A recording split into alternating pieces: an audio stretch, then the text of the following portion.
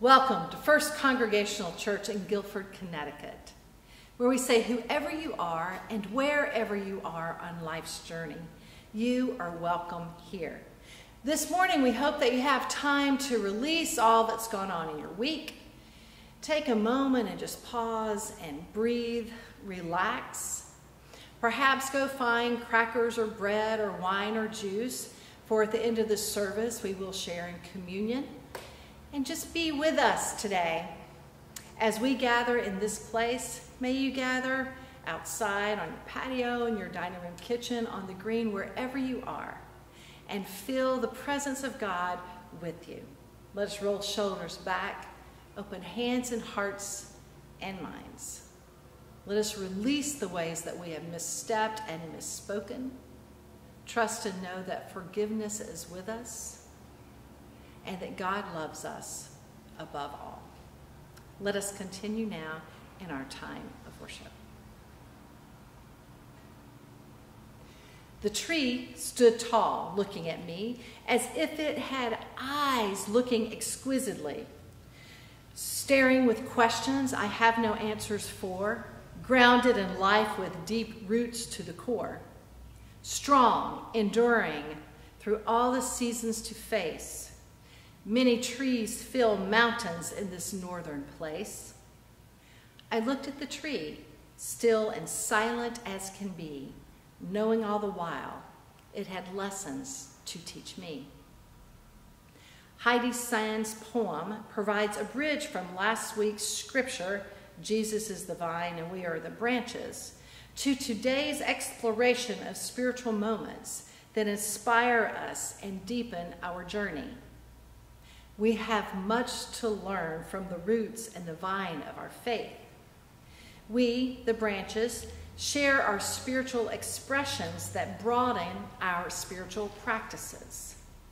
Through arts, nature, and prayer, we weave a path to experience the holiness of life that God has given us.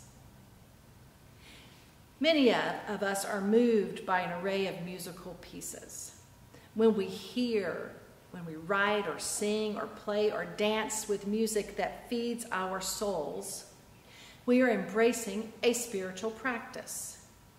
We feel alive, connected, and creative.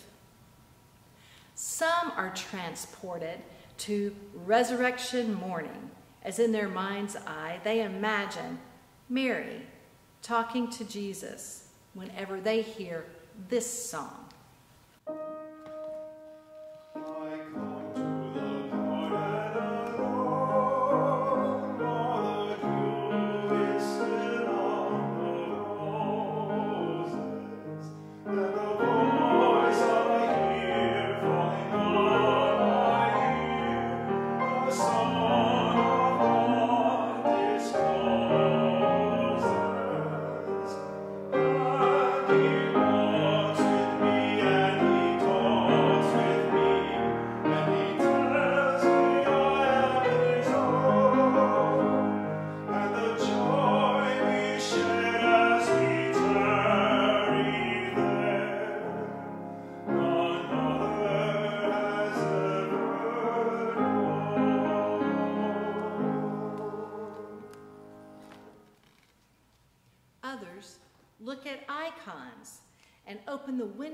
Their soul as they study the depth of color, the lines that circle about on top of one another, and the intensity of the eyes that's portrayed in the picture itself. Some hear and can even visualize the poetry painted by Mary Oliver's Wild Geese. You do not have to be good. You do not have to walk on your knees for a hundred miles through the desert repenting. You only have to let the soft animal of your body love what it loves. Tell me about despair, yours, and I will tell you about mine. Meanwhile, the world goes on. Meanwhile, the sun and the clear pebbles of rain are moving across the landscapes, over the prairies and the deep trees the mountains, and the rivers. Meanwhile, wild geese, high in the clean blue air, are headed home again.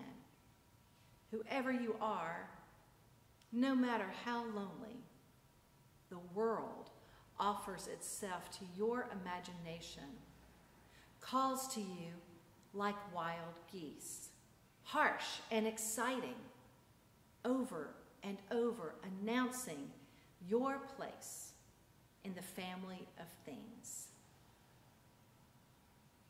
Can you feel God's love through these grace filled word, words? I know I've felt it many times. Every time I read this poem, I still feel grace. Perhaps it's similar to the call of justice in a musical piece that moves us forward in joy and in hope.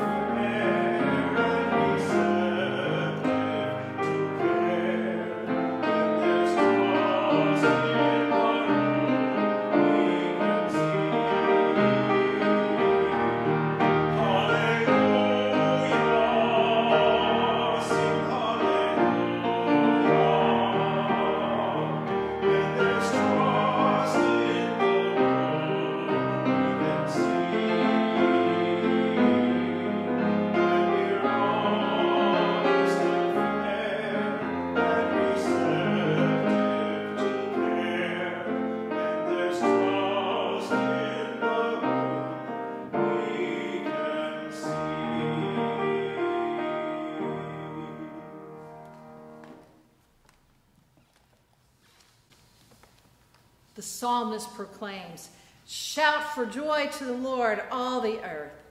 Burst into jubilant song with music. Make music to the Lord with harp, with the harp and the sound of singing, with trumpets and the blast of the ram's horn. Shout for joy before the Lord, the Creator. Let the sea resound and everything in it, the world and all who live in it. Let the deep rivers clap their hands. Let the mountains sing together for joy. Let them sing before the Lord who comes to judge the earth and the peoples with equity. As Dr. King said, the arc of the moral universe is long, but it bends toward justice. Equity feels like a circuitous route, if you will, like the labyrinth by the memorial garden. Our path to reflection and insight is not linear or orderly and can make us anxious, uncomfortable, even doubtful. As the confirmation class walked the labyrinth this week, we wondered about faith and how to write a statement about it. The meandering turns in our journey gave us space to engage three stages of the labyrinth releasing, receiving, and returning. In a free form style, we circled around the idea of religion and spirituality. We pondered how and where we meditate or prayer and how prayer meditation fit into this concept.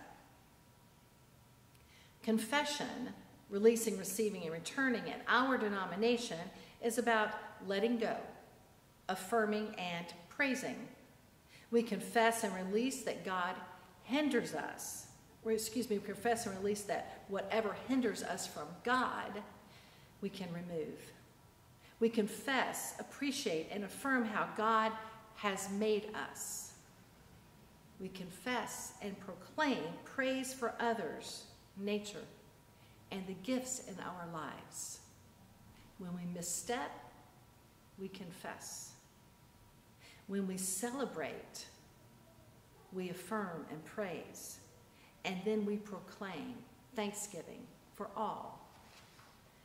Diana, who co teaches the class, asked, What are four significant parts of our lives? What percentage of time do we spend in each aspect? And where is God in the midst? These questions and ideas invite prayer and reflection about how we spend our time. While some thoughts, again, are comforting, others are perplexing because we don't have an internal GPS that gets us to the right address in the most efficient way. Our human GPS, sometimes like mine on my phone, can sometimes get stuck recalculating, recalculating, and yet again recalculating. With much on our hearts and in our minds, let us pause now and go to the common table. With all of this wondering, all this exploration, all these questions about faith and spirituality and religion and what it means for us on our individual lives, let's remember the words of Jesus. He took the bread and he broke it and he gave it to his friends and said, This is my body that is broken for you. Every time you take and eat, do so in memory of me. In the same manner, he took the cup and he poured and said, This is the cup of the new covenant. Every time you take and drink, do so remembering me.